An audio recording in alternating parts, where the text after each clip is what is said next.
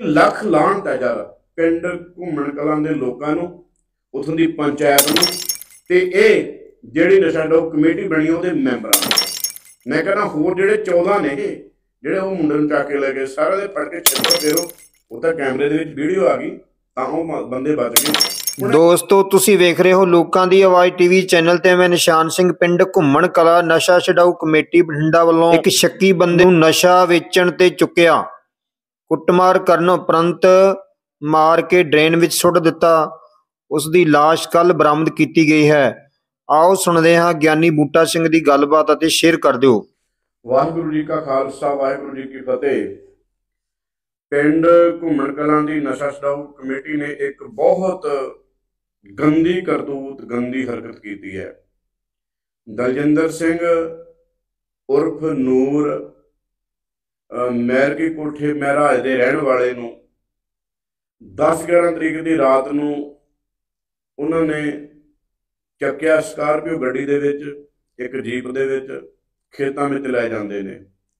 ਸ਼ੱਕ ਦੇ ਆਧਾਰ ਤੇ ਦਲਜਿੰਦਰ ਸਿੰਘ ਨੂੰ ਚੱਕਿਆ ਤੇ ਉਹਦੀ ਕੁੱਟਮਾਰ ਕਰਕੇ ਮੌਤ ਹੋ ਜਾਂਦੀ ਹੈ। ਤੇ ਉਹਦੀ ਲਾਸ਼ ਨੂੰ ਇਹ ਡਰੇਨ ਦੇ ਵਿੱਚ ਸੁੱਟ ਦਿੰਦੇ ਨੇ, ਪਿੰਡ ਜੈਂਦ ਵਾਲੀ ਜਿਹੜੀ ਹੈਗੀ ਹੈ। ਤੇ ਉਦੋਂ ਬਾਅਦ ਦੇ ਵਿੱਚ ਜਿਹੜੀ ਦਲਜਿੰਦਰ ਸਿੰਘ ਦੇ ਘਰ ਵਾਲੀ ਹੈ, ਉਹ ਸ਼ੱਕ ਕਰਦੀ ਹੈ, ਨਸ਼ਾ ਛਡਾਊ ਕਮੇਟੀ ਜਿਹੜੀ ਘੁੰਮਣ ਕਰਾਉਂਦੀ ਹੈ ਤੇ ਪੁਲਿਸ ਮੁਸਤੈਦ ਹੁੰਦੀ ਹੈ ਤੇ ਪੁਲਿਸ ਨੇ ਉਸ ਕਮੇਟੀ ਦੇ ਵਿੱਚੋਂ ਦੋ ਬੰਦੇ ਫੜੇ, ਨਰਦੇਵ ਸਿੰਘ ਤੇ ਗੁਰਪ੍ਰੀਤ ਸਿੰਘ ਪਿੰਡ ਘੁੰਮਣ ਕਲਾਂ ਘੁੰਮਣ ਕਲਾਂ ਤੋਂ, ਜਿਹੜੇ ਨਸ਼ਾ ਛਡਾਊ ਕਮੇਟੀ ਦੇ ਮੈਂਬਰ ਨੇ। ਤੇ ਕੱਲ ਇਹ ਬੰਦੇ ਫੜੇ ਸੀ, ਅੱਜ 22 ਤਰੀਕ ਨੂੰ ਇਹਨਾਂ ਦੇ ਕੋਲੋਂ ਲਾਸ਼ ਬਰਾਮਦ ਹੋਈ ਹੈ। ਜਿਹੜੀ ਲਾਸ਼ ਇਹਨਾਂ ਨੇ ਦਲਜਿੰਦਰ ਸਿੰਘ ਦਾ ਕਤਲ ਕਰਕੇ ਡਰੇਨ ਦੇ ਵਿੱਚ ਸੁੱਟ ਦਿੱਤਾ ਸੀ। ਤੇ ਹੁਣ ਇਹ ਦੋ ਬੰਦੇ ਫੜੇ ਗਏ। ਤੇ ਹਲੇ ਪੁੱਛਗਿੱਛ ਜਾਰੀ ਹੈ, ਤਕਰੀਬਨ ਇਹ 14 ਬੰਦੇ ਨੇ, ਜਿਨ੍ਹਾਂ ਨੇ ਇਹ ਬੰਦਾ ਰਾਤ ਨੂੰ ਚੱਕਿਆ ਸ਼ੱਕ ਦੇ ਆਧਾਰ ਤੇ, ਸਕਾਰਪੀਓ ਗੱਡੀ ਦੇ ਵਿੱਚ ਤੇ ਜੀਪ ਦੇ ਵਿੱਚ, ਨਾਲ ਕੁਝ ਮੋਟਰਸਾਈਕਲ ਦੇ ਖੇਤਾਂ ਵਿੱਚ ਲੈ ਕੇ ਜਾਂਦੇ ਨੇ, ਉਹਦੀ ਮੌਤ ਹੋ ਜਾਂਦੀ ਹੈ।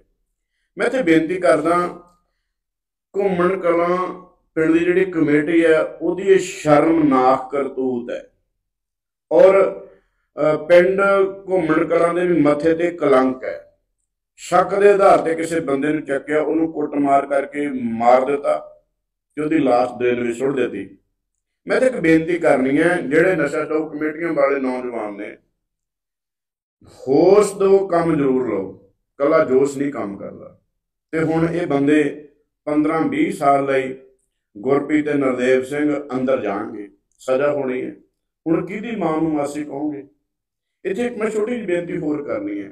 ਇਹ ਤਾਂ ਫੜੇ ਗਏ, ਮੰਨ ਗਏ ਕਿ ਅਸੀਂ ਬੰਦਾ ਮਾਰ ਕੇ ਡਰੇਨ ਵਿੱਚ ਸੁੱਟ ਦਿੱਤਾ। ਤੇ ਜਿਹੜੇ ਇਹਨਾਂ ਨੇ ਹਲੇ ਪਤਾ ਨਹੀਂ ਲੱਗਿਆ ਹੋਰ ਕਿੰਨੇ ਕੁ ਬੰਦੇ ਮਾਰੇ ਹੋਣਗੇ। ਕੀ ਕੁਝ ਕੀਤਾ ਹੋਣਾ? ਹਲੇ ਤਾਂ ਪੁਲਿਸ ਜਿਹੜੀ ਹੈ ਇਨਵੈਸਟੀਗੇਸ਼ਨ ਕਰ ਰਹੀ ਹੈ। ਧੰਨਵਾਦ ਹੈ। ਐਸਐਸਪੀ ਬਠਿੰਡਾ ਖਰਾਣਾ ਸਾਹਿਬ ਦਾ, ਜਿਨ੍ਹਾਂ ਨੇ ਇਹ ਗੁੱਥੀ ਸੁਲਝਾ ਲਈ। ਪਰ ਮੈਂ ਇੱਥੇ ਇੱਕ ਬੇਨਤੀ ਕਰਨੀ ਹੈ।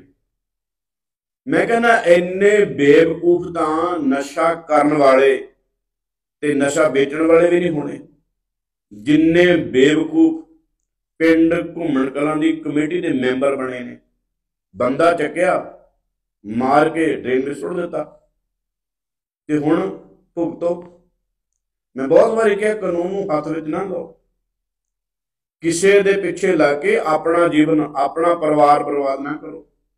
ਕਿਸੇ ਦੇ ਘਰ ਬਚਾਉਣ ਲੱਗੇ ਸੀ ਨਾ ਤੇ ਹੁਣ ਦੇਖੋ ਅਸੀਂ ਬੜਾ ਬੜੇ ਮਾਣ ਨਾਲ ਸ਼ਬਦਾਂ ਦੇ ਵਿੱਚ ਕਹਿੰਦੇ ਆ ਕਿਸੇ ਦੇ ਘਰ ਲੱਗੀ ਹੋਵੇ ਬੈਸੰਤਰ ਦੇਵਤਾ ਜਦੋਂ ਆਪਣੇ ਘਰ ਲੱਗਦੀ ਹੈ, ਉਦੋਂ ਅੱਗ। ਹੁਣ ਪਤਾ ਲੱਗੂ ਨਾ ਐਡੀ ਬੇਵਕੂਫੀ ਕੀਤੀ ਹੈ ਕਾਨੂੰਨ ਨੂੰ ਆਪਣੇ ਹੱਥ ਵਿੱਚ ਲੈ ਕੇ। ਪਹਿਲਾਂ ਲਖੇ ਹਧਾਣੇ ਨੇ ਸ਼ਰਮ ਲਾਈ ਸੀ, ਬੰਦਾ ਕਮੇਟੀ ਕੋਲੋਂ ਮਰਿਆ, ਇਲਜ਼ਾਮ ਕਿਤੇ ਹੋਰ ਲਾ ਰਹੇ ਸੀ। ਉਹ ਤਾਂ ਕੈਮਰੇ ਦੇ ਵਿੱਚ ਵੀਡੀਓ ਆ ਗਈ, ਤਾਂ ਉਹ ਬੰਦੇ ਬਚ ਗਏ। ਹੁਣ ਇਹ ਲੱਖ ਲਾਹਣਤ ਹੈ ਯਾਰ, ਪਿੰਡ ਘੁੰਮਣ ਕਲਾਂ ਦੇ ਲੋਕਾਂ ਨੂੰ, ਉਥੋਂ ਦੀ ਪੰਚਾਇਤ ਨੂੰ, ਤੇ ਇਹ ਜਿਹੜੀ ਨਸ਼ਾ ਡਾਊ ਕਮੇਟੀ ਬਣੀ ਉਹਦੇ ਮੈਂਬਰਾਂ ਨੂੰ।